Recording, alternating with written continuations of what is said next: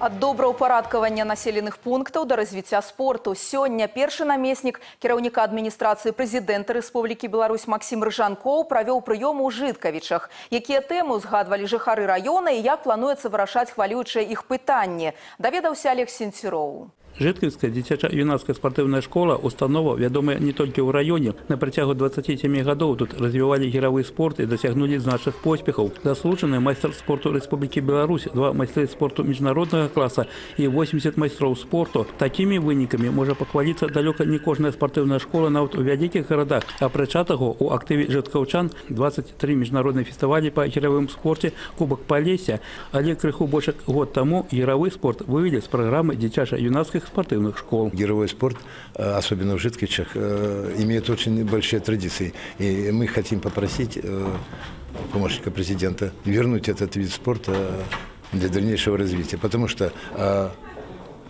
финансирование прекращено полностью, календарь прекращен полностью, а ребят, желающих заниматься, очень много. Поэтому жалко и обидно, что мы потеряем все традиции и потеряем такой народный вид спорта, как гировой спорт.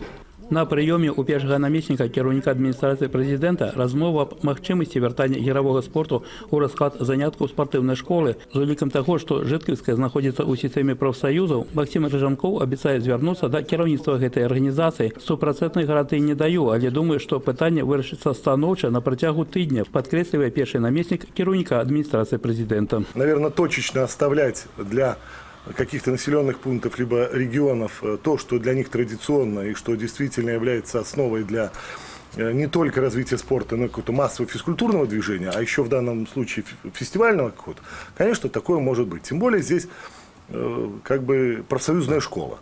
А что такое профсоюзная школа? Вот профсоюзы, они наиболее ближе должны быть и к людям, и к труженикам, да, к их детям. Сегодня жыткавічы рыхтуюцца да правядзення абласных дажынак, а таму тут праводзіцца маштабная работа па добраўпарадкаванні. У сваю чаргу гэта зняла шмат такія пытанні, з якімі жыткаўчане звяртаюцца ў райвыканкам.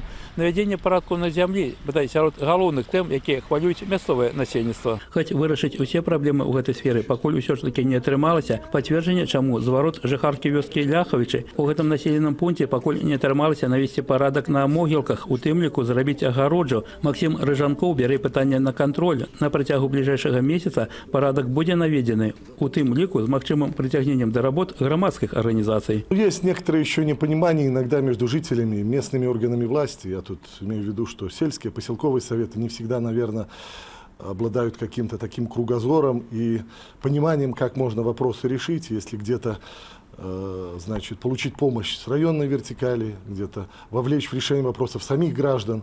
Да и граждане не всегда понимают, что, собственно говоря, они тоже должны что-то делать для того места, где живут. И только уповают на какую-то помощь, э, значит, районной, областной вертикали и так далее.